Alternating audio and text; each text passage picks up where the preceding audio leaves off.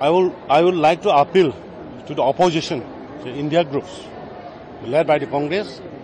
Please don't play PT politics. Even in the budgetary discussion, for non-mentioning of Manipur, they have they are trying to make an issues. What is the use of mentioning all the state?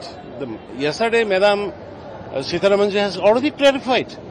We, the state of Manipur is getting enough funding from the center since the beginning of the evening, as well as the uh, this the for the cyclone, for the hailstorm also we got enough money, and we we have already distributed CGIT costing of 43 crores only for the hailstorm, and for the flooding also just we have distributed 10,000 east to the east family, from where this money comes. All the money is providing from the center. And there is no question of mentioning that this kind of PT politics should not do it. And the second point, I want to clarify one thing. One Mr. Abhishek, Honorable MP from uh, Trinamool Congress, he raised issues in the parliament saying that the uh, Manipur issues is or burning one year is doing nothing. How, what he knows? What he knows about Manipur? Why he is not caring about his Bengal?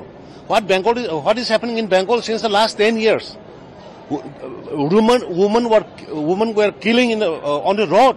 People are beating on the road and the killings, raping. What, what they are doing? What is happening in Bengal and why he is uh, raising the issues of the Manipur? We are doing Manipur 24 by 7. Honorable Prime Minister is looking after. Honorable Union Home Minister is looking after. And the peace is restoring. Instead of supporting to restore peace in the state, why they are trying to why they are trying to instigate.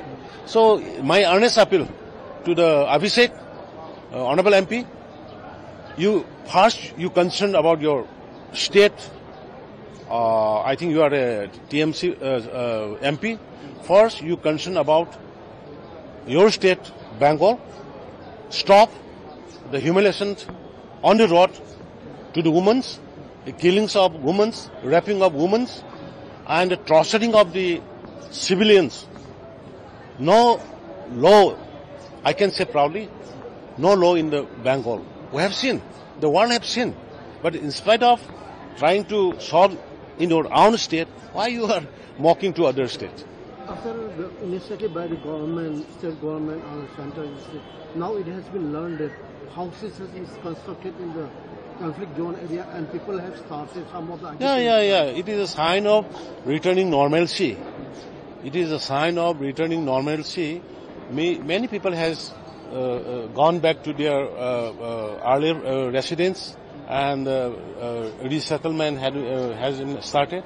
And it is a sign of you know, uh, returning normalcy and peace in the state. So we have to encourage it. I am requesting to the people of the country, people of the state, not to play PT politics, uh, to exaggerate, uh, uh, to escalate the conflict. Instead, please pray and please speak for restoration of the peace in the state. One last question. Uh, you are also in a chance to see much speculation has been made from the public as well that because during your visit today itself in Delhi, uh, you will be able to encounter with the Prime Minister Modi and I think you might be raising the same issue if you are got the, get the chances. So, if so, do you really think this visit will bring a certain solution, overall solution, or as the must aspect? Ah, due to the prevailing situation and the pains and the suffering by the people, I was not able to call on timely. I am very uh, sorry for that, but this time uh, I will meet personally and I will apprise all the things. He know better because Delhi he is collecting information from the state also, from my office, from many, you know, uh, Prime Minister uh, Modi ji know everything. Even though today uh, I'll meet uh, personally and uh, I'll take his blessing. Then the, your spokesperson, Mr. Wan Basanta Sarma, Sarma has said that your visit to the Delhi is going to enhance even the funding, you say, from the Oh, yeah, why not? Why not? Why not? That will be that. That is compulsory.